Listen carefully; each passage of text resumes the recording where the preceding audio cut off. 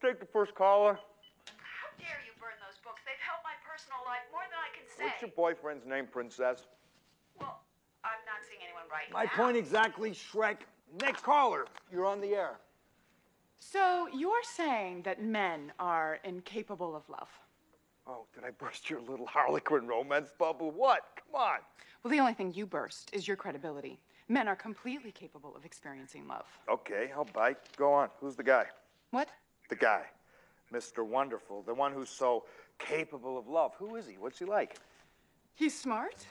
He's handsome, but he doesn't know it. He's successful, but in a job that means something. He loves red wine, picnics, classical music. Mm, mm. This is a guy in America, right? I mean, you're not calling from Europe or, or something. He loves dogs, but he's more of a cat person. He never gets up before you on a Sunday morning. Wait a second. I get it. You're a lesbian. What? Well, you must be. I mean, you just described the perfect woman. Why are you so threatened by these qualities? Is it perhaps because you don't possess a single one of them and that is the real reason why women aren't interested in you? Hmm? Okay. Okay, I'll give you a hundred bucks of my own money to go get this guy and bring him down here. Let me meet him. Well, he's out there somewhere. Wait a second. You're not even dating this guy? No, describing a type. I thought that's what we were doing. what? You don't even know him?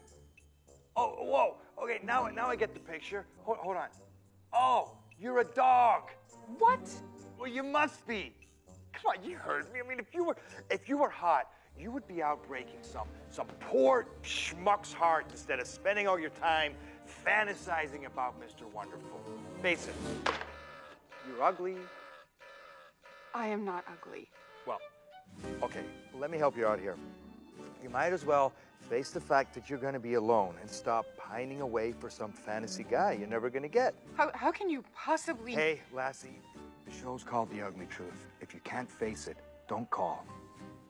That about wraps it up for this evening. I'm Mike Chadway reminding you that the truth is never pretty. How'd the date